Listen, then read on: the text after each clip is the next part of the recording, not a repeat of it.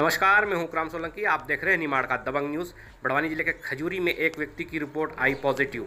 Positive report आने के बाद उसे आइसोलेशन वार्ड में भर्ती किया गया है। जी हाँ बरो फाटक के पास ग्राम खजूरी के सिरवी मोहल्ले में एक व्यक्ति की रिपोर्ट पॉजिटिव आई है। व्यक्ति की रिपोर्ट पॉजिटिव आते ही प्रशासन हरकत में आया, जिसमें जिस व्यक्ति की रिपोर्ट कोरोना पॉजिटिव निकली, वो चौंतीस वर्षीय रिटायर्ड आर्मी जवान है। अब ज़िले में पॉजिटिव की संख्या बढ़कर 115 हो गई है। साथ ही उनके परिवारों को होम क्वारंटाइन किया गया।